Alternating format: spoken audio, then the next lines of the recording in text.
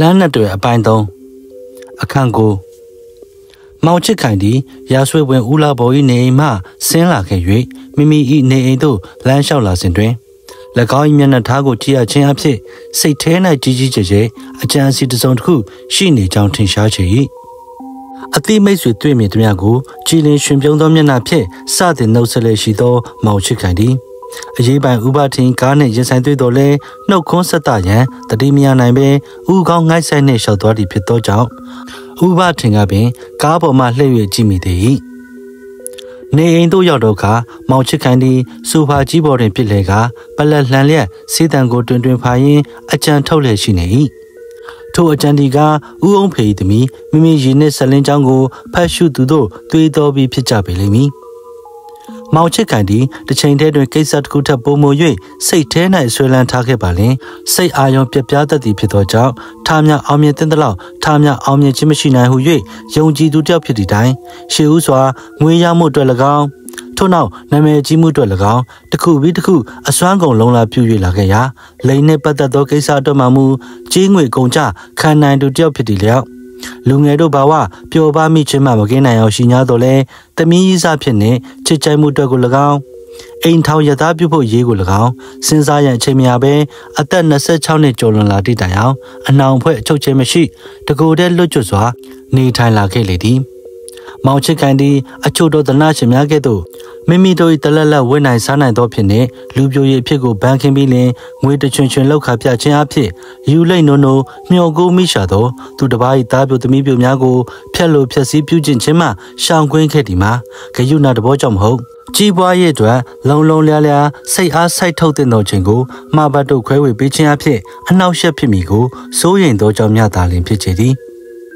မောင်ချစ်ခံ၏ရုပ်ရည်တနာကမရှိခြင်းပေးကမ်းရာ၌ရေရောခြင်းပျော်ရည်ဆူဆရှိခြင်းစတော့ဂုံချင်းရာတို့ကိုထောက်တည်ရှိသောထိုကဲ့သို့စိတ်တဘောမျိုးထားခြင်းတို့ကြောင့်အချို့သောသူတို့၏အိတ်ကိုထိခိုက်မိမှန်တော်လဲမရှိနွမ်းပါသူမိန်းကလေးများမှာဂုံအတီညှို့ပုတ်ပြပြခြင်းမှတက်တာရာရခဲ့ကြလေသည်ယခုမှမူကားမောင်ချစ်ခိုင်သည်ဥအောင်ဖေးတမီမိမိကြီးအားအကြီးအကျယ်ဆွဲလန်းတတ်မှတ်ခြင်းဖြစ်ခဲ့လေပြီ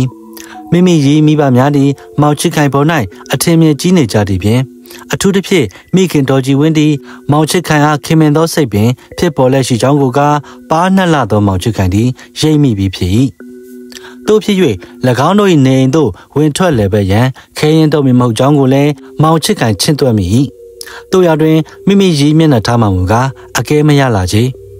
မိမိရည်သည်မိမိစကားပြောကောင်းခြင်းဖြစ်ကိုမငင်းနိုင်တဲ့ဖြစ်အတော်အတန်နှစ်သက်ဟန်လက္ခဏာရှိတော်လဲမိမိတွေ့မြင်ရဖို့ဒီအချို့အချို့သောမိန်းကလေးများကဲ့သို့ဦးရဖားရလိုလိုလားလားရှိဟန်မတူချေအကယ်၍အိမ်တန်ရာရောက်သွားရောက်၍လူပြိုလှဲ့ခဲ့ပါလင်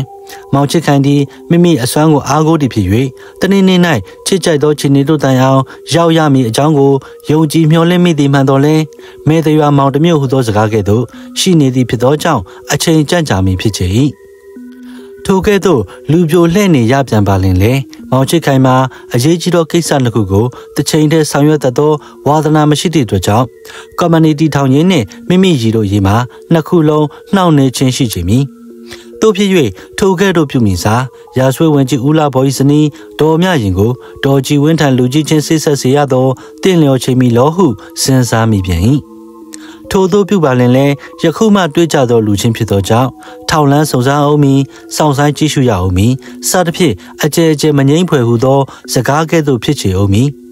မောင်ချစ်ကိုင်းဝါသနာတစ်ခုမှာတစုံတစ်ခုသောကိစ္စ၌မိမိ၏စိတ်ကိုပြဋ္ဌာန်းပြီးသည့်အခါတွင်ထိုကိစ္စမပြီးမြောက်မချင်းရက်တီရမရနိုင်သည့်ဖြင့်အထမမြောက်မချင်းဇွဲတန်တန်နှင့်တဲတဲမဲမဲခဲခဲကြိတ်ကြိတ်ငွေကုန်လူပန်းခံ၍ကြံစီသက်ချင်းပင်ဖြစ်လေရာကိစ္စမပြီးပဲအေးမီမဟုတ်သည့်မိမိအလေးချင်းကိုတည်သောမောင်ချစ်ကန်သည်ရန်ကုန်၌ရှိသောတပည့်ရင်လှမောင်ထံစာတစောင်ရေးသားပေးပို့လိုက်လေ၏ နောက်တနေ့၌လှမောင်ရောက်လာ၍မောင်ချစ်ကန်ကမိမိရီချောင်းကိုပြောပြရာတွင်ရန်ကုန်မြို့ကြောင်ကြသောရက်ွက်တစ်ခု၌တလလင်ငွေ90ကျပ်မြပေး၍အပြုံမရအဖြစ်နှင့်ထားသောမိမတယောက်မှလည်း၍ဘယ်အခါမျှမမလိုက်ခဲ့ဘူးသည့်ဆရာ၏အကြောင်းကိုသိသောလှမောင်သည်များစွာအံ့ဩမိလေ၏မင်းကငါ့ကိုမျက်လုံးကြည့်ပြူပြီးကြည့်မနေနဲ့ကွယ်ဒီဟာကအပြောကြံစီတဲ့မိမမဟုတ်ဘူးအတီပေါင်းမဲ့မရကွယ်ဒါဖြစ်လေဆရာကောင်းကောင်းမွန်မွန်တောင်းရန်ပြောဆိုပြီးယူပါတော့လားဆရာရေ ဆရာချင်းနေကြီးနဲ့ဆိုရင်ဘယ်သူသမီးမှညင်းအောင်မလဲငါဝါသနာကိုမင်းသိတယ်မဟုတ်လားလာမောင်ငါကဒီကနေ့ဆိုရင်ဒီကနေ့မှနှက်ဖြန်အောင်ဆိုင်းချင်တယ်လို့မဟုတ်ဘူးဒီပြင်တစ်ချက်ကလည်းငါကသူတစ်ပါးလှုပ်ရိုးလှုပ်စင်နီလန်တိုင်းတောင်းလာရန်လာလှုပ်နေရရင်ပြောရစီတော့မြင်ရင်ရှက်ရင်မရှိဘူးကွယ်ဆိုရဇာတာပါခဲ့လို့လားမဆိုနိုင်ဘူးခိုးကြောင်ခိုးဝက်နဲ့အတင်းအဓမ္မဆွန်စားပြီးကြံယူရမှငါတဘောတည်းမှာနှိမ့်ချိုက်တယ်ကွယ် အပြစ်မကင်းမှန်းတော့တည်ရဲ့နှုတ်ပေမဲ့ကိုယ်စာတာကိုလွန်ဆန်နိုင်တယ်လို့မရှိဘူးလားမောင်ရဲ့တကယ်လို့ရတော့တောင်ဆရာမင်းမကဆရာကိုကိုးပွင့်ဆိုင်ကောင်းဆောင်မှန်းတိမသွားပေဘူးလားဆရာ။ဘာကြောင့်သိရမှာလဲကွငါစီမံမှာပေါ့။ဆရာတော့ရေကင်းပြဖို့မလိုပါဘူးလေ။မှန်ပါတယ်။ကမ္ပဏီကြီးနေရာကျသွားရင်ဒီလောက်ကိုဆရာမလုပ်တော့ဘူးဆိုတာကျွန်တော်ဖြစ်ဝမ်းနေတယ်ဆရာ။တနှစ်လောက်တော့လိုပါလဲဦးမယ်ကွ။ မင်းတို့လည်းငါလိုမဟုတ်မယန်သုံးဆွဲလာကြရင်တော့လက်ထဲမှာတော်တော်ဆူဆောင်းပြီးရှိဖို့ပေါ့ကွယ်နော်။ကျွန်တော်တို့ကတော့မြင်းပွဲသွားလိုက်ကလတ်တက်လိုက်နဲ့ပါနီထဲကရေပါနီထဲသွားဆိုတာလိုပါပဲဆရာလက်ထဲမှာဖတ်တင်နေလို့မရှိပါဘူး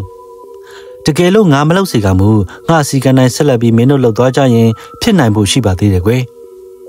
ခေါင်းဆောင်မဲ့လူပဲသူရှိလို့လေဆရာဆရာလိုလူကမြန်မာပြည်တပြည်လုံးမှာဆရာတယောက်တည်းရှိတာဆရာရဲ့ဆရာတတိကိုမြင်ရလို့တပည့်တွေအားလုံးတတိကောင်းကြီးဖြစ်ကုန်ကြတာပါဆရာ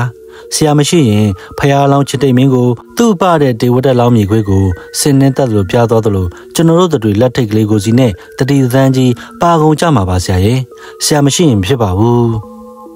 ငါလူကနိပတ်တွေပါတွေနဲ့တဲလာနေပါကလားဟိဆရာကောင်းတပည့်ကိုဆရာရဲ့၎ င်းနောက်မောင်ချစ်ခံတဲ့လှမောင်တို့သည်မိမိရင်းနှင့်ဆက်လင်း၍ဆောင်ရွက်ရာကိစ္စအကြောင်းများကိုဆွေးနွေးတိုင်ပင်လည်းရှိကြလေ၏အခန်း30တနေ့တနိုင်မိမိရည်ဒီဖခင်လကထုတ်ပြီးဒီနေ့ဖြစ်တဲ့ဖြစ်ကျောင်းနေဘက်တငယ်ချင်းအိမ်နီးချင်းများများနဲ့တူအထယ်ဝဲများဝဲရန်မော်တော်ကားနှင့်အိမ်မလာကြလေ၏၎င်းနှင့်နက်နက်၌ဦးအောင်ဖေ၏အစီကံသည့်ပါတမ်းမိရှိတငယ်သည် ဦးအောင်ဖေ၏အိမ်နောက်ဝင်းတကားမှတိတ်တဆိတ်မူရနှင့်ထွက်သွား၍လမ်းတောက်တို့ရောက်တော့ခါတွင်လမ်းချတစည်းကိုတက်စီပြီးနောက်ဆူးလေဖျားလန်းရှိမန္တလေးဘီယာဆန်တို့အမြန်ဆွဲစေ၏ဆိုင်ရှိသို့ရောက်တော့ခါဘာတန်းသည်လန်ချားပေါ်မှအလင်းစလုခုံဆင်း၍ဆိုင်သွင်းသို့ဝင်ပြီးလင်စီးစိန်နှင့်ထိုင်၍ဘီယာတစ်ခွက်ပြီးတစ်ခွက်တောက်လက်ရှိသောလှမောင်နည်းသို့ချင်ခဲ့၍စကားသည်သို့ပြောလျာလှမောင်လည်းဘာတန်းအားငွေ30ပေး၍လွှတ်လိုက်လေ၏ ပါတမ်းမှာလွန်ခဲ့သောဆယ်ရက်ခန့်ကဦးအောင်ဖေထမ်းမှလာ၍ဖခင်အိုကြီးအားလှုပ်ကြွေးနေရသူဖြစ်ကြောင်း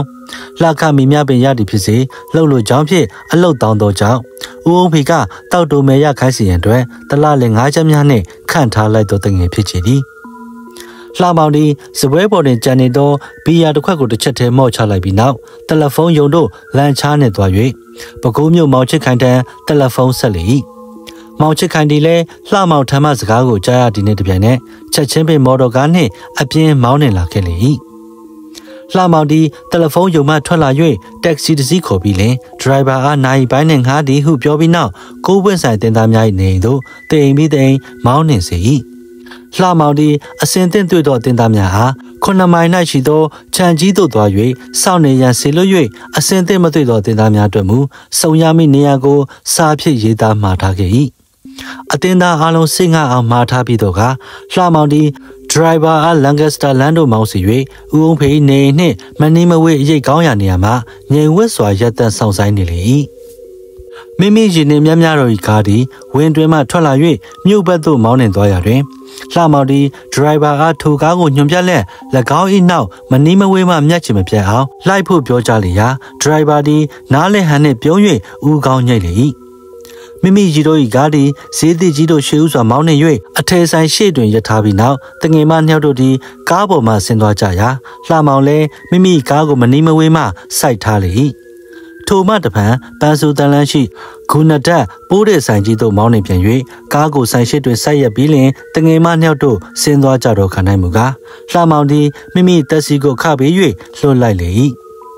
င်းနောက်လှမောင်သည်မျက်နှာသားချိုချိုနှင့်မိမိရီတို့၏ကားဒရိုင်ဘာနီးတို့ချင်းကပ်၍မိတ်ဆွေမန္တလေးသားမဟုတ်လားဟုတ်ပါတယ်ကျုပ်ကိုမြင်ဘူးလို့လား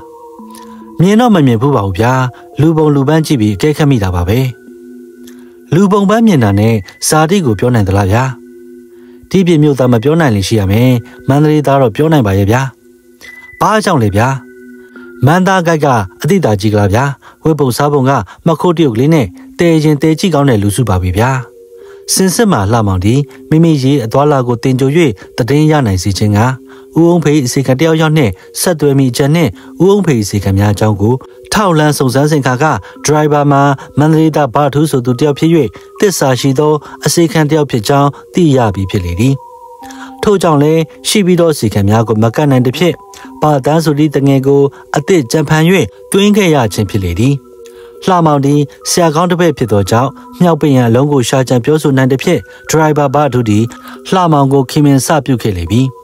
ထို့သောအခွင့်အာဏာခိုင်၌လှမောင်က Go Play Secret 90ဝင်ဘူးကိုထုတ်၍တည်သောခါတွင်မူကားဒရိုင်ဘာဒီလှမောင်ပေါ်၌မြစ်တာကဲရှံ၍လာသည့်ပြင်ထိုအတန်းစားလူမျိုး၌ Secret ကို90ဝင်ဘူးလိုက်ဝယ်ယူတောက်သုံးနိုင်ခြင်းဒီကဂုံထူးကြီးတစ်ခုတစ်ပွဲထင်မှတ်သက်ချေသောကြောင့်လှမောင်ပေါ်၌အထင်အမြင်ကြီးလာခဲ့လေ၏ဤဒီကဆရာကောင်းထံနေခံခြင်း၏အကျိုးကျေးဇူးပေသည်မိတ်ဆွေကရောဇာတိပဲရလဲကျုပ်ကမန္တလေးတောင်ဘက်အမရပူရကပါပဲဗျာ လှမောင်မှာကျုပ်ပင်ကောက်သားဖြစ်တော်လဲဇာတိချင်းဤတည်တို့ကြောင့်ခင်မင်စီချင်းကလိန်လည်၍ပြောချင်းဖြစ်လေသည်အမရပူရဆိုတော့မန္တလေးနဲ့တစ်ဆက်သေးလို့နေတာပါပဲဗျာတရက်သေးသားလို့သဘောထားကြတာပေါ့ဒါထက်ရန်ကုန်ကိုဘာကိစ္စနဲ့ရောက်နေတယ်လဲဗျာဇာတိချင်းလဲသူအလုတ်ချင်းလဲဆွေမျိုးပါဗျာကျုပ်လည်းဒရိုင်ဘာလုပ်နေတာဟန်ကြီးပန်ကြီးအောက်သားငနေဆရာနဲ့မသိကြလို့မနေ့ကပဲကျုပ်ထွက်ပြလိုက်တယ်ဒါထက်ဒရိုင်ဘာလိုတဲ့လူများမတွေ့မိဘူးလားမိတ်ဆွေတစ်စိတ်လောက်ဆက်ပေးစမ်းပါဗျာ private ကားတော့ဖြစ်မသိဘူးဘတ်စကားမောင်းချင်တော့ကျုပ်ဆက်ပေးနိုင်တယ်အလုပ်ဆိုရင်ပြီးရောဘာပဲဖြစ်ဖြစ်ပေါ့ဗျာခမဘဲတော့အားမလဲကျုပ်ဒီကဆရာကြီးသမီးကိုအိမ်ပြန်ပို့ပြီးရင်ရုံးစင်းချိန်မတိုင်းမချင်းအားပါတယ်ဒါဖြစ်နေရကြပြီပြို့ခမားပြောတဲ့ဘတ်စကားအုံနာနဲ့လိုက်ဆိုင်ပေးစမ်းပါဗျာခမားကျေးဇူးကိုမမေ့ပါဘူးကျေးဇူးကကိစ္စမရှိပါဘူးခမားနဲ့ကျုပ်နဲ့ဘယ်နေရာမှာတွေ့ကြမလဲဒီလိုလုပ်ပြီးတော့ဗျာအခုကျုပ်ခမားနဲ့တူတူလိုက်ခင်မယ် ဟိုရောက်တော့ကာသွင်းထားခဲ့ပြီးကျုပ်နဲ့တစိမ့်လောက်လိုက်ဆောင်ရွက်ပြီးပါလားဗျာဒီကနေ့ညနေပြောဖို့ပါဖို့တော့မပူပါနဲ့ကျုပ်လက်ခရှင်းယူလာခဲ့ပါတယ်လှမောင်ဒီငွေဆက်ကူ30တန်3ချက်ကိုထုတ်၍ပြလေရာဒရိုင်ဘာဒီဘိုက်စကုတ်ယုံများဟိုတယ်များနှက်သမီးများကိုမျက်စိထင်၌ကွင်းကွင်းကွက်ကွက်မြင်လာသည်ဖြစ်သောကြောင့်ထိုငွေမကုန်မီအတွင်းတွင်လှမောင်နှင့်မခွဲဖို့နီလန်းများကိုပင်စိတ်ကူး၍ထားနေ၏ ကျုပ်တို့ဆရာကြီးတမီးကဂျီခတ်ထူထူမို့ခမရခေါ်ထားမယ်ဆိုရင်မေလာမြန်လာတော့လုံမှာပဲနှုတ်ပေမဲ့လိုက်ခဲ့လီဗျာကျုပ်တို့မျိုးကတငယ်ချင်းလို့ကျုပ်ပြောရတာပေါ့လာဗျာဟိုဘက်ကလက်ဖေးဆိုင်မှာလက်ဖေးတောက်ကြအောင်ဆိုလားမလုံးနဲ့ဆရာကြီးဒါတော့မလိုက်ဝင်ဘူးထွက်လာလို့မတွေ့ရင်ဆူလိမ့်မယ်ဟောပြောရင်းဆိုတွင်ဆင်းလာကြပြီတက်ဗျာခမားတက်ပြီးကျုံနာကထိုင်နေလှမောင်လဲကားပေါ်တို့တက်၍ဒရိုင်ဘာကြီးလက်ဝဲဘက်မှထိုင်နေလေ မိမိရည်နှင်းများများတို့သည်အထုပ်များကိုပိုက်လက်ဆင်းလာကြလေရာဒရိုင်ဘာသည်တကားကိုဖွင့်ပေးလေ၏မိမိရည်သည်ခြေနှင်းခုံပေါ်တွင်ခြေသလန်းတင်၍ဟိုတယောက်ကဘယ်သူလဲမောင်မသူကျုပ်တို့မန္တလေးကတငယ်ချင်းပါကွေးနေတာကြားလာပြီးအခုမှအစင်းနဲ့တွေ့လို့ကျွန်တော်လှုပ်ဆင်းချိန်ကြတော့မြို့ထဲရှောက်ပြချင်လို့ခေါ်လာခဲ့ပါတယ်မိမိရည်ဒီနောက်ထပ်၍မမေးတော့ပဲမြားများနဲ့တူကားပေါ်တို့တက်၍ထိုင်ကြပြီးလင်အိမ်တို့မောင်းရံအမိန်ပေးလေ၏ ကားဒီစူးလိဖျားလန်းတရားကြီးကိုကျော်လွန်၍အတော်အတန်လူချင်းသောနေရာသို့ရောက်တည်နေတပြန်နဲ့လှမောင်ဒီလုံချီအောက်မှဘောင်းမီတို့အိတ်ထဲတွင်လှုပ်ဝက်စွာဆောင်းယူလာခဲ့သော6လုံးပြူသနက်ကိုရုတ်တရက်ထုတ်၍ကားနောက်မီးပေါ်တို့ဖြက်ခနဲတက်ထိုင်ပြီးလင်တနက်ကိုလမ်းမလူများလဲအလွယ်တကူမမြင်ရလျောင်းကားရှိတန်းရှိဘာထုနှင့်နောက်တန်းရှိမိန်းကလေးများအားလည်းအလိုရှိရာချက်ချင်းလှည့်၍ဖြစ်နိုင်အောင်ခက်ကွယ်ကွယ်ခွာ၍ချိန်ထားပြီးနောက်အကယ်လုံးမိမျက်နှာထားမျိုးနှင့်လေးတန်းမျိုးဖြင့် မအော်နဲ့တော့အော်တဲ့လူပါဇက်ကိုထုတ်ချင်းခက်ဖောက်အောင်ဖြစ်လိမ့်မယ်ဟုကျင်းဝါချိန်ချောက်လေ၏လှမောင်ဒီ6လုံးပြသနက်ကိုဘယ်နည်းနဲ့ရလေသနည်းဟုမေးဖွယ်ရာရှိချေ၏ကိုပွဲဆိုင်အတင်းတီထောင်ပြီးသည့်နောက်မောင်ချစ်ခိုင်ညာလက်ရုံဖြစ်သောလှမောင်ဒီမိမိအတင်း၌အ ਨੇ ဆုံး6လုံးပြသလက်ရှိထိုက်ကြောင်းကိုမောင်ချစ်ခိုင်နှင့်တိုင်ပင်ဆုံးဖြတ်ပြီးကြလင်လှမောင်ဒီ6လုံးပြသနက်တလက်ရရန်ကိစ္စအတွက်တက်တက်တာဝန်ယူ၍ဆောင်ရွက်ခဲ့၏ အင်္ဂလိပ်ပြည်မှတင်မောကြီးများဆက်ရောက်တော့ခါတွင်အင်္ဂလိပ်တင်မောသားများသည်6လုံးပြူတနက်ကိုလွတ်ဝက်စွာဆောင်ယူခဲ့၍ကမ်းသို့တက်လေရာတွင်အလိုရှိသူတို့အားမူလတန်ဖိုး၏10ဆ15ဆများသောအဖို့နှင့်တိတ်တဆိတ်ရောင်းချတကြောင်းကိုတည်င်းကြားရပူ၏တို့ဖြစ်၍လှမောင်သည်၎င်းတင်မောကြီးများစိုက်ကတော်ခါတွင်ကမ်းနား၌ကျင်းဝင်ပြေဆုံးနှင့်စောင့်နေ၍တင်မောမှဆင်းလာသောတင်မောသားများ၏နောက်သို့မရောက်မလဲလိုက်ပါသွားလေ၏ အင်္ဂလိပ်ကျောင်းထွက်ဖြစ်သည်ဖြင့်အင်္ဂလိပ်စကားပြောတတ်သောလှမောင်သည်တင်မော်တာများဝင်သွားသောဟိုတယ်သို့လိုက်ဝင်သွား၍၎င်းတို့နှင့်ဘီးလက်ကစားခြင်းအရက်များတိုက်ခြင်းစသဖြင့်ငွေကုန်ခံကာမိတ်ကျွမ်းဖွဲ့လေ၏အချိန်ကုန်လက်သောလှမောင်တီထင်လောက်သောတင်မောသားကိုပူးကတ်စွာပေါင်းပြီးလင်တနက်အကြောင်းကိုတစ်တစိတ်ကြိတ်၍မေးလေ၏ ထိုကဲ့သို့သုံးချိန်မြပြုမိသောအခါလှမောင်တီတနက်လက်ကန်ရှိသောတင်မောသားကိုဒိုင်ရိုက်မတွေ့တော့လဲရောင်းလို့သည့်တင်မောသားနှင့်ဆက်ပေးနိုင်သောလူကိုတွေ့လျာလှမောင်တီတနက်ကိုငွေတရာကျပ်နှင့်ဝယ်ယူ၍ပွဲစားတင်မောသားအားလည်းငွေ20ကျပ်ပေးလိုက်၏တနက်ရောင်းသောတင်မောတာသည်နောက်ထပ်လိုရှိသေးပါလင်နောက်တစ်ခေါက်ယူခဲ့အောင်မိအကြောင်းနှင့်ပင်ပြောသွားသည်၏ လှမောင်ဒီမိမိတို့ဆရာတပည့်နှစ်ယောက်၌တလက်စီရှိထိုက်သည်ဟုတဘောရ၍နောက်တလက်ယူခဲ့ဖို့မှားထားလိုက်ရာ6လခန့်ကြာတော့ခါတွင်ဒုတိယတနက်ကိုရခဲ့ပြန်လေ၏တို့ရတွင်ကိုးပွင့်ဆိုင်တင်သားများနှင့်မောင်ချစ်ခိုင်နှင့်လှမောင်တို့သာလျှင်တနက်ကိုင်းဆွဲကြ၍၎င်းတို့သည်လည်းအချင်းချက်များ၌6လက်ယုံများသာလျှင်အသုံးပြုနိုင်ပြီးလျှင်လူသေးအောင်ပြစ်တက်ရဘူးသည်ဟု၍မှတ်ရှိခဲ့ဘူးသည်ချင်း လှမောင်ဒီတနက်ကိုဒရိုင်ဘာနဲ့မိန်းကလေးများမှတပါလမ်းမလူများမတော်တဆမမြင်စေခြင်းကခက်ကွယ်ကွယ်ကင်ထားလျက်ထိုသူတို့အားမအော်မဟစ်ရန်ချင်းလျှောက်တားမြစ်လေရာဒရိုင်ဘာနဲ့မိန်းကလေးများမှာမိမိတို့ဟာတဲမက်ဆာချင်းရွယ်မထားစေကမူတနက်အရှင်နှင့်ပင်လှမ်းဖြတ်ထူဖူလျက်ရှိကြသည်ဖြစ်သောကြောင့်ဟစ်အော်ရန်စစ်ကူးမြပင်မျက်လုံးများဝိုင်းလျက်ရှိနေကြလေ၏စင်စစ်မှမိမများမှာတနက်နဲ့တဲမဲ့စွာချိန်ရွယ်ထားခဲ့ပါမူ ထိတ်လန့်အားကြီးသည်ဖြစ်၍ရောင်ရမ်းကဟစ်အော်မိတတ်ကြသည်ဖြစ်သောကြောင့်ပြယုံများတာပြထားခြင်းသည်ကိစ္စပြီးစီးနိုင်စေခြင်းကြောင့်ကိုလှမောင်ဒီကိုတွေ့ဖြစ်သောကြောင့်သိနာလေခဲ့လေပြီဒရိုင်ဘာနှင့်မိန်းကလေးများသည်မျက်လုံးကြောင်တောင်နှင့်ငေးကြည့်နေကြစဉ်လှမောင်ကကျွတ်ဆက်သောတန်ဖြင့်ပြည်လန်းကိုမောင်းအဲဟုတ်ပြီခတ်တုတ်တုတ်ဟိ ဒရိုင်ဘာဒီကားကိုပြည်လန်းဘက်သို့လှည့်၍မောင်းနေလေရာလှမောင်ဒီနောက်မိပုံမှမိမိနေရာသို့ရှောထိုင်ပြီးလင်ဆရာတင်ကြားထားသောစနစ်တိုင်းအလိုရှိရာသို့ရုတ်တရက်ပြစ်နိုင်သည်ဟု၍ထိုသူတို့ထင်စေလောက်အောင်အစဉ်သင့်ကင်ထားလေ၏အော်မယ်လို့များမကြံကြနဲ့နော်ဒီနေရာကလည်းပြစ်နိုင်တယ်မြင်ကြလား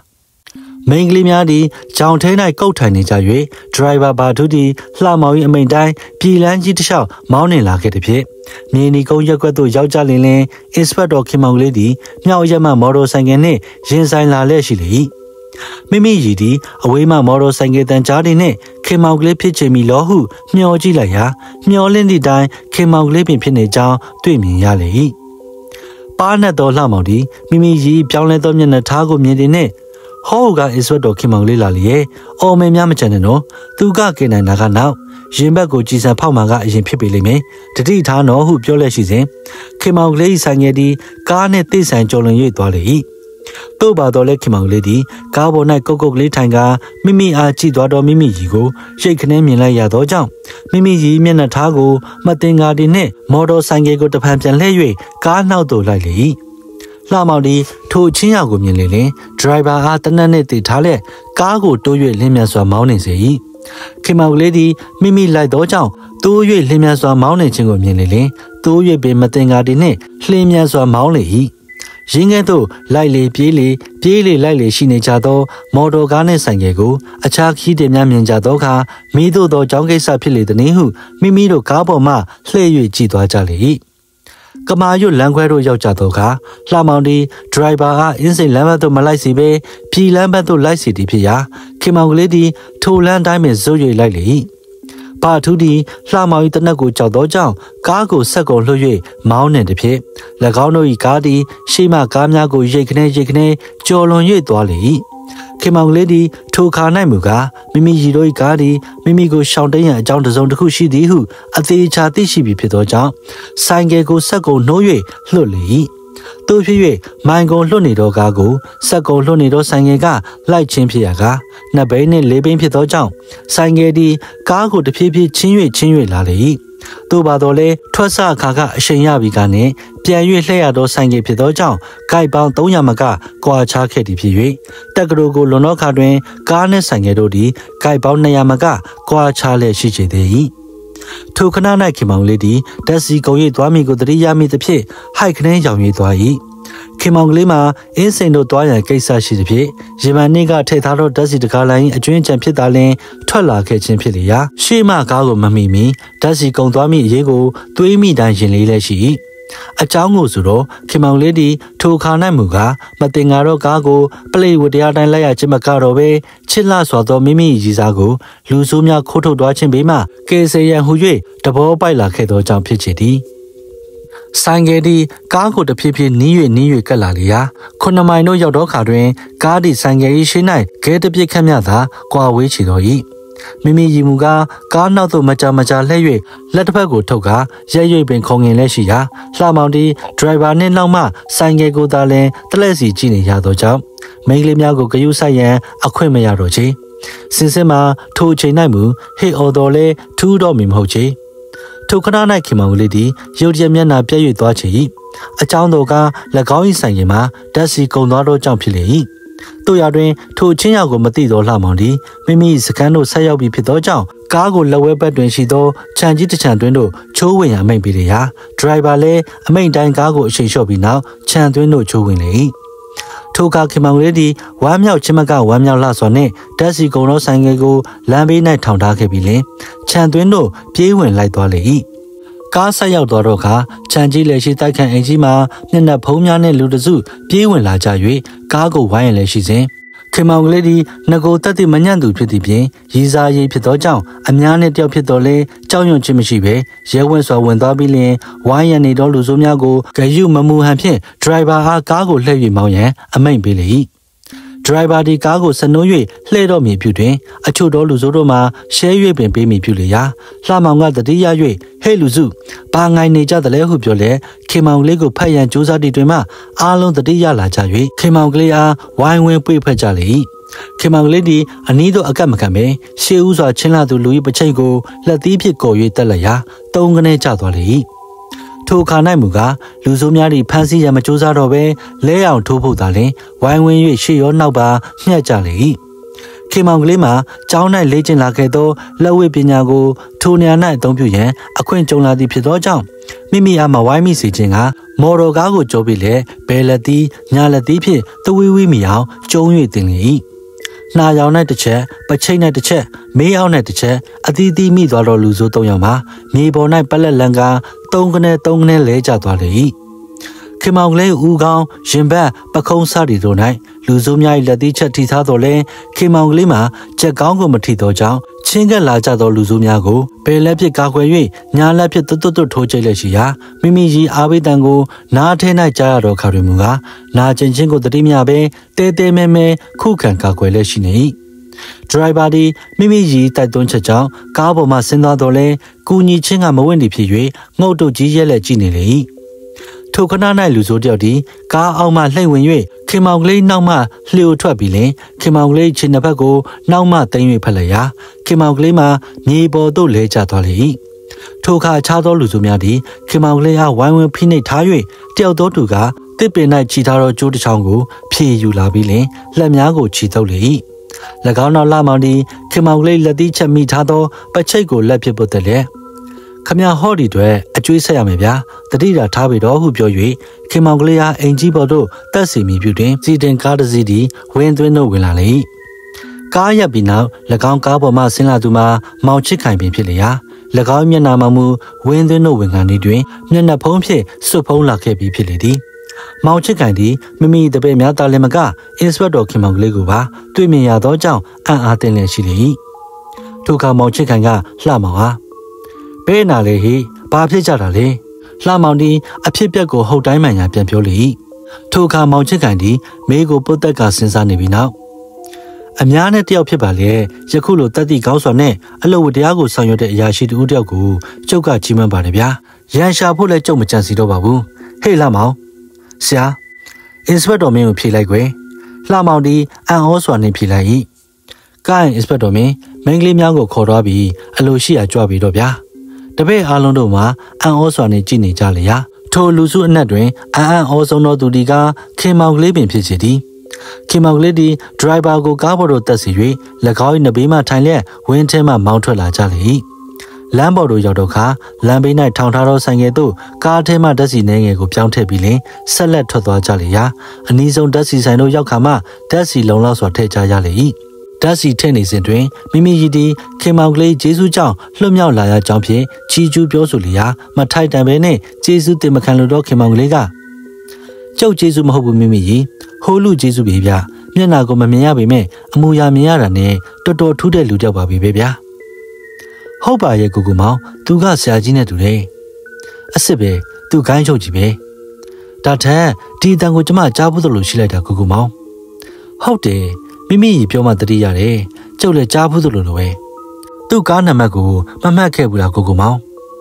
ကြည်စံမိမိရီလွတ်တာနဲ့ဝမ်းတာလွန်းလို့တတိမိလာခဲ့တယ်ရှိပါစီတော့ဗျာကျုပ်နဲ့တကွာမိမိရီဟာသူ့ဂျေဇူးကြောင့်လွတ်လာကြတာဖြစ်လေတော့ဒီတစ်ခေါက်တော့မှတော့သူ့ကိုကျုပ်ထောက်လာလန်းလာမလောက်ချင်တော့ပါဘူးဗျာနေပါစီတော့စင်စစ်မှာမောင်ချစ်ခိုင်ကားနံပါတ်ဒီကအမှန်နံပါတ်မဟုတ်ချေ၎ င်းနောက်မိမိရီတို့ကထွက်လာလေရာခင်မောင်လေးဒီနဘေးမှဆိုင်ကယ်နဲ့လိုက်တယ်ခင်မောင်လေးတို့ထွက်သွားပြီးဒီနောက်မောင်ချစ်ခိုင်ဒီလူစုကိုရုတ်တဲ့မခွဲသေးပဲအိမ်ပေါ်တို့တက်စီ၍ခိတ္တမြဆွေးနွေးနှီးနှောကြသည်နေပါအောင်လှမောင်ရဲ့မင်းစီမံမှုတွေအလုံးကိုသဘောကျပါရဲ့နှုတ်ပေမဲ့ခင်မောင်အင်စပက်တော်ကနောက်ကမော်တော်ဆိုင်ကယ်နဲ့လိုက်နေမှန်းသိလက်နဲ့မင်းကရှေ့ကမော်တော်ကားနဲ့ပြေးချင်းဟာငါတို့စီဝေးရဌာနတစ်ခုကိုတမင်တက်တက်ပလိတ်ခေါ်ပြတာနဲ့တူနေတာပေါ့ကွယ် ထိုအခါလှမောင်ဒီအချီးမွမ်းမခံရဘဲအပြစ်တင်ခံရတဲ့ဖြစ်မျက်နာညှို့လက်ဘဲနဲ့လုံမလဲဆရာနေ့လေကြောင်တော်ကြီးလမ်းမကြီးလေကောင်မှာဖျောက်ဖျက်တုတ်တင်ပြဖို့ကလည်းအခက်သားကလားဆရာဖျောက်ဖျက်ပြရမယ်လို့ငါမဆိုလိုပါဘူးဒါထက်စကားဆက်မိတော့မင်းတို့အားလုံးကိုငါမှထားမယ်အင်စပက်တော်ခင်မောင်လေးတယောက်ကိုမင်းတို့ဘယ်ခါမှအသက်ကိုရမရှာချနဲ့ကြားကြလားသူကနှောက်ရှက်ရင်မင်းတို့ကလှော်အောင်ချမ်းသူ့ကိုတော့ရမပြုတ်ကြနဲ့မှတ်ထားကြနော်ကောင်းပါပြီဆရာကြီး အားလုံးကထောက်ခံကြလေ၏ဒါထက်နေပါအောင်လှမောင်ရဲ့မင်းကမော်တော်ဆိုင်ကယ်ကိုကားနဲ့လှုပ်အောင်ပြေးနိုင်မယ်ထင်လို့မင်းလျှောက်ပြေးနေတာလားတပည့်တော့မကြံတတ်လို့ပဲဆရာမင်းတို့နဲ့ငါနဲ့ဒီနေရာမှာခွာတာပဲငါသာဖြစ်ဘယ်လိုလုပ်မလဲသိကြသလားအားလုံးကဖြေကြလေ၏မသိဘူးဆရာကြီးတယောက်ကဝင်၍ပလိတ်ကိုပြစ်တက်ခဲ့မလားဆရာကြီးထိုကမောင်ချစ်ကန်ကတေမိုက်တဲ့ကောင်လူတယောက်ကိုတတ်ဖို့ဟာနောက်ဆုံးအချက်ငါထားတာကိုမင်းမသိဘူးလား ထိုကလှမောင်ကဝင်၍ဘယ်လိုလုပ်မလဲပြောပါတော့ဆရာကြီးမောင်ချစ်ကန်ကအင်စပက်တော်ကလှည့်လိုက်တာကိုမြင်မြင်ချင်းကားကိုရက်ကားဘိုကမိန်းလေးကိုအင်စပက်တော်နဲ့ကောင်းကောင်းစကားပြောဖို့မှာထားကောင်းကောင်းမပြောရင်ချက်ချင်းပြစ်တက်လိုက်မယ်လို့ယုံလောက်အောင်ချင်းချောက်နှုတ်ပြီးတော့အတာရက်ဆောင်နေမယ်စကားကောင်းကောင်းပြောလိုက်ဖို့ပလိတ်ကကျင်းနေပြီးထွက်သွားတော့မှထွက်လာခဲ့မယ်ထိုခါလှမောင်က လျှောက်ဘက်ပါပြီဆရာနှုတ်ပေမဲ့ဒီလိုလုပ်ဖို့အကြံရတောင်တော်တော့တက်တိနဲ့မဖြစ်နိုင်ဘူးဆရာရဲ့ဆရာလိုလူမှဖြစ်နိုင်မယ်ဆိုတာဝန်ခံပါတယ်ဆရာပါခတ်လို့လေကွယ်ဟန်လို့တာပါပဲလှမောင်ရဲ့အဲ့ဒီဟန်ဆိုတာကိုကျွန်တော်တို့ဖို့တော့အခက်ဆုံးပဲဆရာပလိရရှိတယောက်ရှိမှာလူ၃ယောက်ကိုအုပ်ချုပ်ရမယ်ဆိုတာဆရာကလွဲလို့ကျွန်တော်တို့အထက်ကဖြစ်စေဒီပြင်ကလူစိုးဖြစ်စေတတ်နိုင်မယ်လို့မထင်ပါဘူးဆရာဒီလောက်ပဲခက်သလားကွယ် ခတ်ပါတယ်ဆရာကျွန်တော်ဖြင့်ပလိတ်ဆရာစောင့်နေတဲ့ထဲကလှုပ်အောင်တိုးထွက်ရမယ်ဆိုရင်ထွက်ဝင်နေဒီဟာမျိုးတော့ဖြစ်အောင်မလုပ်နိုင်ဘူးဆရာကျုပ်ပြောတာမဟုတ်ကြဘူးလားဗျာထို့ကအားလုံးကမှန်တယ်ဒီတိုင်းပဲကျုပ်လဲဒီလိုပဲစသဖြင့်ပြောဆိုဝင်ခံကြပြီးလင်လူစုခွဲလိုက်ကြလေကုန်၏အခန်းဆက်တဲ့ ခေမောင်လေးနှင့်မိမိကြီးမြမြတို့သည်လန်ကစတာလန်သို့ဆက်ရောက်ကြ၍မိမိကြီးကမိခင်မင်းတော်ကြီးအားအဖြစ်ပြက်ကိုပြန်ပြောင်းပြောပြလေရာဒေါ်ကြည်ဝင်းသည်မျက်နှာဖုံးများနှင့်လူဆိုးများဟုသောစကားကိုကြားရတော့ခါတွင်ကံကောင်းထောက်မ၍သာလျှင်တမီးနှင့်ပြန်တွေ့ရချေတော့သည်ဟုအောင်းမိလေတမီးအားပွေ့ဖက်နှမ်းရှုပ်လေ၏ ဒေါ်ကြည်ဝင်းဒီမိမိရီကမိမိအားလူဆိုးများ၏လက်မှလွတ်မြောက်စေရန်လူကိုအနာခံ၍ခင်မောင်ကလေးကြိုးပမ်းခဲ့ပုံများကိုအားရပါရပြောပြသည်ဖြင့်ကြားသိရတော့ခါ၌လဲခင်မောင်ကလေးအားကျေးဇူးတင်စကားပြောကြလေ၏မြမြပြန်သွားပြီးနောက်ညနေခင်းတွင် ဦးအောင်ပေရုံမှပြန်လာ၍မိမိရီက၎င်းဖြစ်ပျက်ကိုထပ်လောင်းပြောပြသည်ဖြင့်ကြားသိရတော့ခါတွင်ဦးအောင်ပေသည်ရာဆွေးဝင်တယောက်လုံး၏သမီးကိုဤမြလောက်စောကားမော်ကားကြံစီဝင့်ချီစီတကားဟုဒေါရမြတ်ချောင်းချောင်းထွက်လက်၎င်း၏ထုံးစံတိုင်းမျက်လုံးများနီမြန်းခြင်းနှကမ်းမွေးကြီးပွားစီပွားစီရှိခြင်းစပွဲကိုလက်သီးနှင့်ထုခြင်းစသည့်မှန်ကြီးတော်မူရာမျိုးကိုပြလေ၏လူကြားလုံးမှကောင်းနိုင်သေးရလားခင်မုံလေးရဲ့ နေ့လေကြီးကြောင်တောင်ရန်ကုန်မြို့လေခေါင်ကြီးမှာရာဇဝဲဝင်တယောက်လုံးရဲ့သမီးကိုကားရောလူပါခိုးထားတယ်ဆိုတာပြောလို့မှယုံနိုင်စရာရှိကြသေးရဲ့လားကွယ်ဟေ့ခင်မောင်လေးဦးခင်ဗျာငါတခုပြောထားမယ်ဒီကနေ့ဖြစ်ပျက်ကိုဘယ်သူမှမင်းမပြောလိမ့်နဲ့ကွယ်မင်းကြီးကြားသွားရင်တိတ်ရှက်ဖို့ကောင်းတယ်ကွယ်ကြားလားကောင်းပါပြီဦးခင်ဗျာဒါထက်ပါထုခေါ်လိုက်စံကွယ်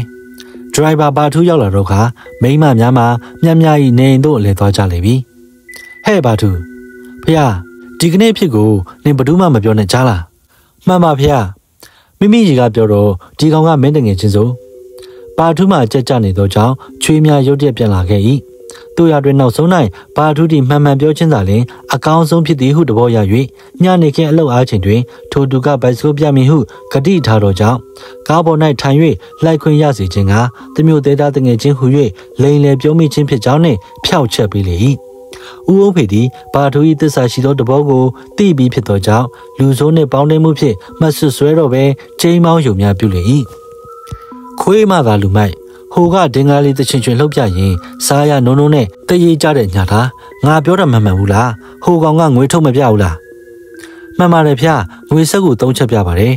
ငွေဆက်ကူလေးတွေပြပြီးမင်းကိုကျွေးမယ်မွေးမယ်ဘိုက်စကုတ်ပြမယ်လို့ပြောတယ်ဟုတ်ကဲ့လားမှန်ပါတယ်ဗျ မင်းရဲ့လူပုံထူလပိန်ပိန်မြင်လေတော့ဒီကောင်ဟာအစားတောက်နဲ့မြားရရင်ပါမဲ့ကောင်ပဲလို့ဟိုကောင်ကအကဲခတ်နိုင်တာပေါ့ဘာထူရဲ့ဒီလောက်ငတ်တာအံ့ဩပါရဲ့ဘာထူးမှာလှမောင်ကဝတ်ပုံစားပုံချိုးကြကြောင်းရင်ကြောင်းနဲ့ချီမွန်သောစကားကိုတတိယတစ်ဖြစ်တွေး၍ရှက်မိသည်ဘာအထူးဒီဦးအောင်ဖေတွားခွင့်ပြုသောကြောင့်အိမ်ပေါ်မှဆင်းတော်မူပြုပြီးမှတစုံတစ်ခုကိုတတိယတစ်ဖြစ်အင်းကြီးအိတ်တို့လက်နက်၍ဖြစ်စည်းတစ်ခုကိုထုတ်ပြီးလင်ဦးအောင်ဖေနီးတို့ချင်းကပ်ပြန်လေ၏ ဘာများလဲဟဲ့ဘာထူးရဲ့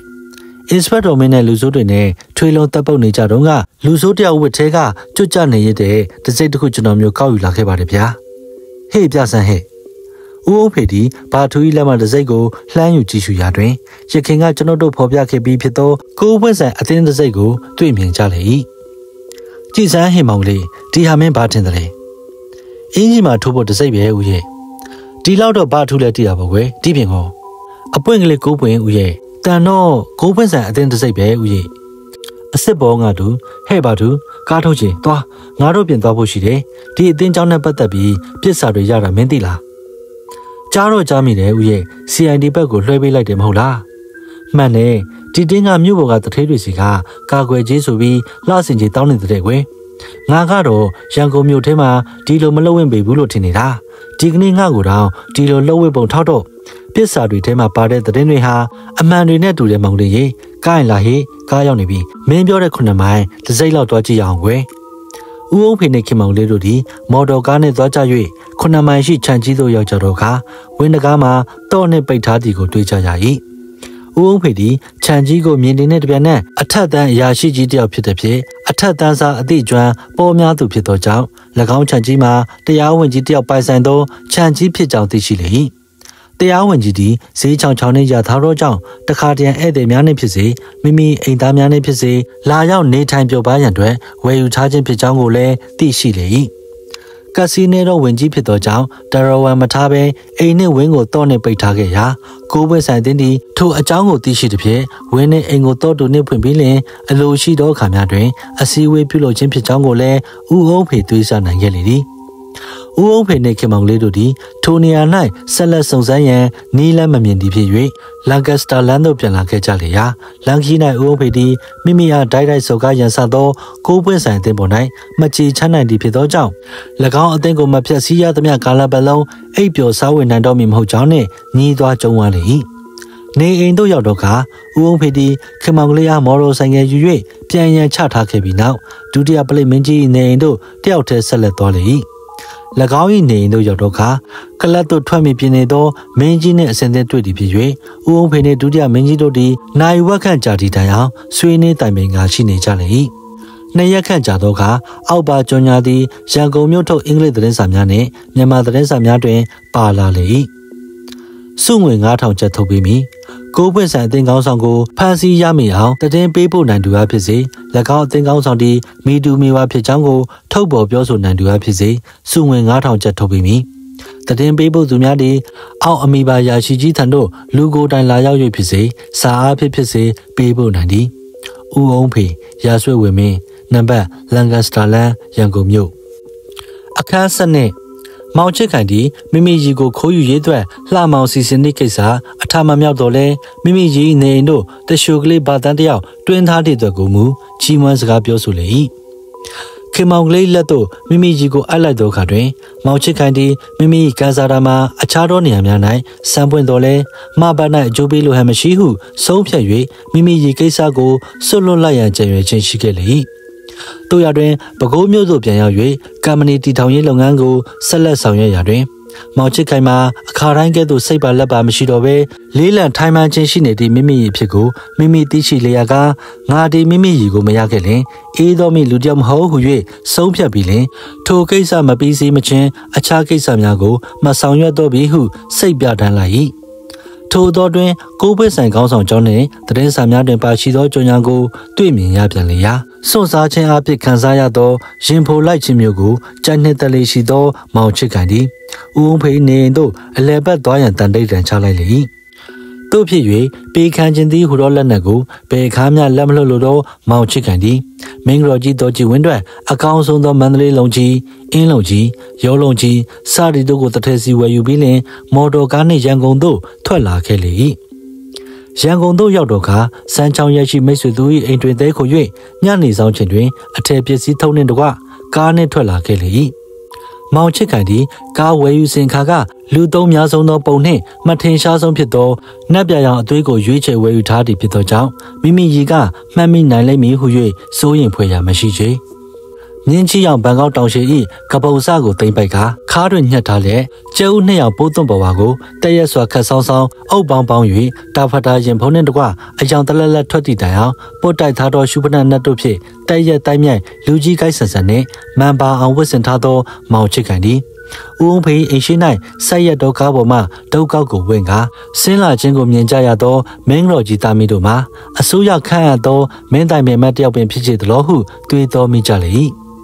ဒရိုင်ဘာဒီလည်းအထုပ်ပစ္စည်းထုတ်ကိုပိုက်လဲနောက်မှလိုက်ပါလာလေ၏တော်ကြီးဝင်းဒီမောင်ချစ်ကန်ဖြစ်ကြောင်းကိုသိရှိတော့ခါတွင်ဝမ်းသာရှင်ပြသောမူရနှင့်နေရာထိုင်ခင်းပေးလေရာမိမိရီမှာလဲဗီရို၌တက်ထားသောကိုလုံးပေါ်မှန်ကြီးတွင်ပေါ်ထွက်လက်ရှိသောမိမိအရေးကိုတစ်ချက်မျှခေါင်းငယ်၍ကြည့်မိလေ၏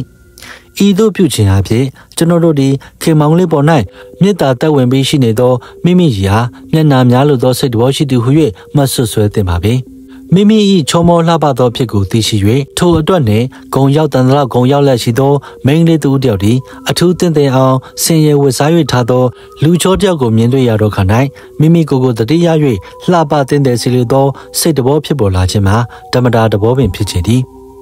မောင်ချစ်ကန်သည်စင်ဝင်အခန်းတွင်ဒေါ်ကြည်ဝင်းညွှန်ပြသောနေရာ၌ထိုင်၍ဝင်းမင်းเจ้าကိုမြင်မြန်သည်ဖြင့်ယနေ့နနက်ပင်တောတို့ထွက်သွားကြောင်းသိရပြီးတော့ခါကလထိုင်သလုံးပေါ်၌ဒရိုင်ဘာတင်ထားခဲ့တော့အထုပ်ကိုဖြေလေအခုသလိုရှမ်းမီဘက်ကလှည့်ပြီးမန္တလေးရောရေချောင်းဘက်ကကံကောရောနှံ့အောင်ဝင်လာခဲ့ပြီးတော့တတော်ကိုတတိရတာနဲ့လုံကွင်းကလေးတစ်ထည့်စီကျွန်တော်ဝယ်လာခဲ့ပါတယ်တစိမ့်လောက်လက်ခံပါတော်တော်မောင်ချစ်ခိုင်ဒီအထည်များကိုတော်ကျင်ဝင်းလက်သို့အပ်လေ အလိုလေးများလာချီလားသူမောင်တတိယလို့တထက်တလေးဝယ်လာခဲ့တယ်ဆိုရင် ဟုတ်တယ်ရဲ့အခုတော့တရင်တနီကြီးပါပြီလားမောင်ရဲ့ဒေါ်ကြည်ဝင်းဒီရှင်ပြတော်မျက်နှာထားနဲ့အဝယ်များကိုဖြန့်၍ကြည့်လျာမိမိကြီးကမူမိခင်ဖြစ်သောကြောင့်မပြောဝင်း၍နေရတော့လေတဘောကြဟန်လက္ခဏာမရှိချေကျွန်တော်ကတော့မိတ်ဆွေဟောင်းတွေမို့အရင်တိုင်းနဲ့ပေးကြလေတော့ဒီတော့ကုန်ကြမများလာပါဘူးတော်ထိုခါတော်ကြည်ဝင်းဒီလုံချီများကိုတထဲစီကိုနှစ်ကကြည့်ရင် များလွန်းလာတယ်မောင်ရဲ့တထည်တော့ပေးချင်ပြီးတော့ကြံတဲ့နှစ်ထည်တွတ်တော့ငွေယူရလိမ့်မယ်ပြီးခါမှာတော်တော်သူတယောက်ကတတာလို့ပေးခြင်းကိုညင်းပယ်ဖို့မထိုက်ပါဘူးတော်တော်အာနာဆရာကြီးမိမိရဲ့ငွေပေးတာပေးလိုက်ပါမတော်ပါဘူးဟုမိမိရေကဝင်ပြောလေလူကြီးနဲ့လူငယ်မို့ကတော့ပူဆိုခြင်းကိုမကန့်ကွက်ထိုက်ပါဘူးမိမိကြီးထိုခါတော်ကြီးဝင်းကရောလုံးကြီးကတော့လူကြီးစင်ပါပဲအင်းလုံးကြီးနဲ့မန်းလေးလုံးကြီးကတော့တော်တော်နဲ့နှုတ်လုံးပါတယ်သူမောင် မဟုတ်တာတော်တော်ကလည်းတော်တော်ကအသက်ကြီးပေမဲ့မျက်နာကနုနုကလေးရှိနေသေးလို့မို့ဝှက်နိုင်ပါတယ်တော်တော်ရဲ့စင်စစ်မှာမောင်ချစ်ကန်ဒီမင်းတော်ကြီးတွဲဟုဆိုတော်လဲမိမိရီခါသို့ရောက်စီရန်အစင်နုနုကိုတမင်ရွေးချယ်ဝယ်ယူခဲ့ခြင်းဖြစ်ချေသည်မိမိရတိုက်ရိုက်ပေးခဲ့သောမတင်တယ်ဒီဖြစ်သောကြောင့်မောင်ချစ်ကန်ဒီမိခင်ကိုအောင်တွေ့ထား၍ပေးကမ်းခြင်းဖြစ်ချေ၏ဤကားမောင်ချစ်ကန်၏ပြည့်ရပေသည်ထိုခါတော်ကြည်ဝင်းသည်အစင်နုများကိုမိမိရာလှမ်းပေး၍ ယော့ကက်ကြည့်စမ်းသမီးမိမိကြီးလဲတထဲစီကိုနဲ့ကက်၍ကြည့်ထိုခါတော်ကြည်ဝင်းကကိုင်းမပြောဘူးလားလူငယ်နဲ့မှလိုက်တဲ့စင်တွေမောင်ရဲ့ဟုတ်စားမောင်ချစ်ခိုင်မှာလုံချင်းနဲ့မိမိရီဟတ်လာလိုက်လာတော့ကြောင့်စကားများပဲမပြောနိုင်လေတော့ဟန်နဲ့ကြောင်တောင်ငေးလက်ကြည့်နေလေတော့ဤနောက်ဆုံးမှတော်တော်နဲ့ကက်ကြည့်တော့ကလိုက်လာပြီလို့အောင်းမိတာမိမိကြီးခါရောက်တော့မှမျက်စိတဲကမထွက်နိုင်အောင်ဖြစ်နေပါပြီကိုဗျာထိုအခါမိမိကြီးက မထွက်နိုင်လေပုတ်ထုတ်လိုက်မျက်စိကျိန်းသက်တယ်ထိုအခါမော်ချစ်ကန်ကမကျိန်းတန်ကောင်းပါဘူးထင်ပါရဲ့ตาရတဲ့အစဉ်ကပဲ။သမီးပဲဝတ်ပါတော့ကွယ်မမေနဲ့နှုတ်လွတ်နေပါတယ်။ထိုအခါမိမိကြီးကဝစ်စီချင်ရင်ပတ်စံပေးလိုက်။လိုတဲ့ခါတော့တောင်းယူပါမယ်စိတ်ချပါ။၎င်းနောက်မင်းတော်ကြီးကရန်ကုန်တို့မောင်ချစ်ခိုင်လာရောက်တော့ကိစ္စကိုမေး၍အခြားစကားများကိုနိုင်ဝက်ကြကြများတိုင်အောင်ဝိုင်းဖက်ကရေမောပြောဆိုလဲရှိကြ၏ ထိုချိန်ကာလတော်တွင်၌မောင်ချစ်ခံသည်တမီမိမိရီထက်မိခင်မင်းတော်ကိုပုံမွန်၍ဂယုစိုက်တိလက္ခဏာနှင့်မြောက်ချီတကားပင်ချီတလဲရေမောဘွယ်တဖုံဖြင့်နီးမျိုးဆိုအောင်ဖြိုဖြေလက်ရှိရကားဒေါ်ကြည်ဝင်းမှာမောင်ချစ်ခိုင်ပေါ်၌ရခင်ကထက်နှစ်ဆထမ်းဖို့တိုး၍ခင်မင်ချင်းဖြစ်လာခဲ့ချေ၏မိမိရည်မူကားဤလူဒီစကားပြောကောင်းသူတယောက်ဖြစ်သည်ဖြင့်မိမိကိုနှစ်သိမ့်စေမှုအတွက်အထူးလုံးလာပြုနေခြင်းကြောင့်ကိုရိပ်မိယုံမတပါထူးထူးခြားခြားထိခိုက်လာအောင်မရှိခဲ့ရေ မိမိရည်ဒီဒေါ်ကြည်ဝင်း၏တိုက်သွင်းချက်ရမိမိအားလူဆိုးများဖမ်းဆီးသွားခြင်းကြောင့်ကိုမောင်ချစ်ခိုင်အားပြန်ပြောင်းပြောပြရာတွင် မောင်ချစ်ခိုင်သည်အနေငယ်များအိမ်သည်မပြတ်စေဘဲဖြစ်မှဖြစ်ရလေခြင်းဟူသောမျက်နှာထားမျိုးနှင့်နားထောင်လဲရှိနေ၏စကားဆုံး၌မောင်ချစ်ခိုင်ကအံ့ဩပါရဲ့ဗျာရန်ကုန်မြို့ကြီးထဲမှာနေခင်းကြောင်တော်ကြီးဝင်းမင်းသမီးကိုလူခိုးတယ်လို့ကြားလို့မှယုံနိုင်စရာရှိရလားဗျာဘယ်သူတွေ့တဲ့လဲ ကိုဝင်းဆိုင်တင်နေချင်းဒါကြောင့်စုဝင်9000ချက်ပေးလို့တောင်းဖေဖေကကြောင်ကြောင်ထုတ်ထားသေးတယ်ဟုမိမိရီကပြောလေ၏မြင်လိုက်ပါရဲ့ဗျာလက်ဆက်သက်တော့ဒီအတွက်ကြောင့်ကိုအော်ဒါထက်ခုမှတတိရတယ်ကိုဝင်းဆိုင်ခေါင်းဆိုင်ရဲ့အတန်ကိုကြားဘူးပါတယ်လို့ဟိုးနေ့ကအောင်းမိမိတာလက်ဆက်သက်တော့ရှင့်တန်တဲ့သူနေတာကိုဤစကားဒီကမောင်ချစ်ခိုင်အတွက်တုံလုံးဖွယ်ရာကောင်းဆုံးသောစကားပေသည် တို့ရတွင်မျက်နှာထားကိုချုပ်တီးချင်းရာဌာန၌ဝိစာထိုဆိုလောက်ပေသောမောင်ချစ်ကန်သည်စီကရတလိတ်ကိုမင်းကြီး၍တောက်သောခါတွင်လက်တန်းဖြာကလေးများသာတဆက်ဆက်လှုပ်နေသည့်ဖြစ်ကိုကြည်နိုင်သောသူမှသာလျှင်မြင်နိုင်မည်ဖြစ်ချေသည်ထိုအခါမောင်ချစ်ကန်သည်ရေမောလက်ကျွန်တော်အတန်တဲ့သူရင်တော့ခမားလူဖြစ်စီပြီးတချင်းကတပုတ်အဆူတင်ချင်တာတင်ပေးမဲ့ဆရာကခမားအတန်ဟာအချိုချက်စားမကောင်းအချင်းချက်စားမကောင်းလို့ကဲ့ရဲ့တာနဲ့တပိုင်းကြီးတပိုင်းကြောင့်နဲ့နေရပါဘောလားဗျာ ထိုခါတော်ကြီးဝင်းဒီပြုံးရရင်ကြမ်းကြမ်းဖက်ဖက်မောင်ရဲ့အတန်ကိုအချိုချင်းချက်စားလို့ရအောင်ပါလို့ပုံခိုင်းတဲ့လူကခိုင်းလဲခိုင်းတတ်ပါပြီရဲ့ထိုကနာ၌အိမ်ရှိမှာမော်တော်ဆိုင်ကယ်တန်ကြားတင်နဲ့မိမိရည်ဒီထိုင်ယာမထကြည့်၍ကိုကိုမောင်မတကားဟုပြောစဉ်မော်တော်ဆိုင်ကယ်ပေါ်မှာခင်မောင်ကလေးကလက်ကိုရမ်းပြတဲ့အပြန်မဝင်မဲဟုပြောသွားလေ၏ မောင်ချစ်ခိုင်မှမူဘန်ကောက်ပစိုးရှိပေါ်တို့ secret လှုပ်ရကြသောကြောင့်ပြာများကိုခါထုတ်ပြီးနောက်တားမီနှစ်ယောက်ကိုနှုတ်ဆက်၍အိမ်ပေါ်မှဆင်းသွားလေ၏အခန်း73ကြည်မြင့်တိုင်းဘာဂရာကျောက်၏တောင်ဘက်ရှိခုံးမြစ်ကိုလှေကားဖြစ်တပ်ပြီးနောက်တောင်ဘက်တို့မျောကြည့်သောမြောက်မတောင်တို့တောက်လျှောက်ဖောက်ထားသည့်ချင်းမြောင်းလာစွာသောလမ်းလေးနှစ်ခုကိုတွေ့မြင်ရပေလိမ့်မည်၎င်းတို့နှင့်ပထမလမ်းကြားမှာပေါ်ကာတန်းဖြစ်၍ဒုတိယလမ်းကြားမှာကလကာတန်းဖြစ်လေသည် ထိုလမ်းငယ်နှစ်လမ်းလုံးတို့မှာလုံမင်းစွာကျင်းမြောင်းလာသည်ဖြစ်၍မော်တော်ကားများဖြတ်တန်းသွားလာခြင်းကမဖြစ်နိုင်သည့်ဖြင့်ဘိုက်စကယ်ကိုပင်လှုပ်ကျွတ်စွာစီးဝင်နိုင်သည်မဟုတ်တော့ကြောင့်လူအယောက်ပေါက်နေပါလာ၍ရန်ကုန်မြို့သူမြို့သားတို့နှင့်လူတစ်ထောင်နဲ့တယောက်မျှရောက်ဖူးကြမည်မဟုတ်ချေ။၎ င်းလမ်းလေးများတစ်လျှောက်ရှောက်သွားသည်ရှိသောလမ်းတစ်ပတ်တစ်ချက်၌အင်ကြီးအိမ်ကောင်း၍တစောင်းတလေးများမတွေ့ရဘဲပုပုပြပြပြပြဝဲလျက်အကာရမရှိ တကားမရှိသည်တဲငယ်အိမ်ငယ်ကလေးများသာလျှင်စီတန်းလည်းရှိသည်ကိုတွေ့မြင်ရလေရကားရန်ကုန်မြို့သည်ဟူသောဖြစ်ကိုပင်မေ့လျော့၍တိုးရွာကလေးတို့ပင် ရောက်နေချေသလိုဟုအောက်မေ့မိချေ၏ ည9နာရီချိန်ခန့်တွင် မောင်ချစ်ခိုင်သည်ချမ်းဤသောယာတီဖြစ်သည့်လျောက်မာဖလာကိုနှရွက်ရောဦးကောင်းပါတိန်ကျုံရစ်ပက်လက်ပလီစာကွက်တက်ကလက်လုံကြီးစတီနွေတော်ဝစ်တို့ဖြင့်လုံချုံစွာဝစ်စင်ပြီးလင်တောက်ကောက်ကိုကင်လက်တဲခိုရာအိမ်မထွက်လာခဲ့ရာဘာကရကြောက်စီမကလကတန်းဘတ်တို့တက်သွားလေ၏၎ င်းလမ်းရှိအိမ်များနှက်တွင်အကြီးဆုံးအကောင်းဆုံးဖြစ်၍အောက်တန်းစားလူတို့အလှပဆင်ပြင်လေးရှိသောထုံးစံတိုင်းစားများဖြင့်ဖုံးအုပ်ထားသောကလတ်ထိုင်များနှင့်မှန်တင်စပွဲကိုရှေ့ခန်းတွင်ဗန်းပြကာစီတန်းခင်းချင်းထားသည့်မုံအိမ်တစ်ဆောင်တွင်အသက်20ကျော်ရွယ်ခန့်ရှိဖြူဖြူတုတ်တုတ်တနာကမရုပ်စင်နှင့်တနခါပေါင်တာတဖွေးဖွေးစီဂရက်တစ်ဖွာဖွာရှိနေသောမိန်းမတယောက်သည်စာမိတ်ဖုတ်ကလတ်ထိုင်ပေါ်တွင်ထိုင်လျက်လမ်းဘက်တို့တမျောမျောကြည့်နေလေ၏ မောင်ချစ်ကန်လျှောက်လာဒီကိုမြင်တော့ခါထိုမိမသည်ရှင်ပြတော်မျက်နှာနှင့်ထိုင်ရာမှထလျက်မျောလိုက်ရတာကူကူရဲ့လေပင်းများကိုတတောင်ပြည့်နေပြီမင်းကဝလွန်းလို့လေကုတ်တုံနေတာနဲ့တော့ပဲခက်ဆိုးဆိုးလာဖို့ဟာအင်ရှင်မကစကားကောင်းနေတာနဲ့ထွက်ဖို့အခွင့်ကိုမရနိုင်ဘူးမယ်ရီရေကိုကိုဒီတစ်ခေါက်ဘယ်လောက်ကြာမလဲ၃လေးရက်ပေါ့ကွယ်ဒရိုင်ဘာဘာဒေါ်လာပြောရမဟုတ်လား ပြောလာပါတယ်ကိုကိုဒါထက်ခရီးမဆိုင်ဆိုသလိုအင်ရှင်မေကြီးကဒီအိမ်ကိုရောက်မလို့တဲ့ရီးကိုအိမ်ပိုင်ရာပိုင်လေးလက်ကင်ရှိအောင်ဝယ်ပေးပါလားကိုကိုမှတ်တမ်းရည်ဒီမောင်ချစ်ခိုင်ဖက်နှက်ကျိုးကိုဖြုတ်ပေးနေရမှမျက်နှာချိုချိုကြီးထားပြီးမော်ကြီးဤဘယ်လောက်တဲ့လဲ950ကျပ်တဲ့ကိုကိုစစ်ရင်တော့900ကျပ်လောက်ရမှာပဲဟဲဒီအိမ်ဘယ်ကလာ900ကျပ်တန်ပါလဲမတန်ရင်လေတန်တဲ့ဖုန်းနဲ့ရအောင်စီပြီးဝယ်ပေးတော့ကိုကိုအေးအေး ရီရီဒီလက်မောင်းနှစ်ဖက်ကိုထုတ်ပြလက်ရီးလက်ကလေးတွေဖြူဖြူတုတ်တုတ်နဲ့မလှဘူးလားကိုကိုမင်းလက်ကောက်လိုချင်နေပြီဒါပဲမတန်းရင်ဒီမောင်ချစ်ခိုင်းခြေလုံးကိုဖြစ်နေလက်တိတ်ပြီးပါတဲ့ကိုကိုတယောက်ပဲလက်ကလေးတွေဖြူဖြူတုတ်တုတ်နဲ့ရှင်းရှင်းကြီးဖြစ်နေလို့ကြည့်မကောင်းပါဘူးကိုကိုမင်းလက်ကတဲ့ကဘာလို့မဝဲသလဲကိုကိုငွေ90ချက်ကတာမင်းရောက်စားတာတောက်တာနဲ့ဝစ်ဖို့ ထိုခါတီမောင်ချစ်ခိုင်ဒီကြားဖြတ်၍စီဂရက်တောက်ရတာနဲ့ပေါင်တာဖိုးနဲ့အမေပေါင်တာကရီတောက်ထဲဖို့လားစုပေါင်းလေကိုကိုလာတဲ့ခါမျက်နာကြီးစီးပြန်နေလို့ကြိုက်လားမလာတဲ့ခါတော့ကိုမိမကိုကိုကိုလှချင်တာပေါ့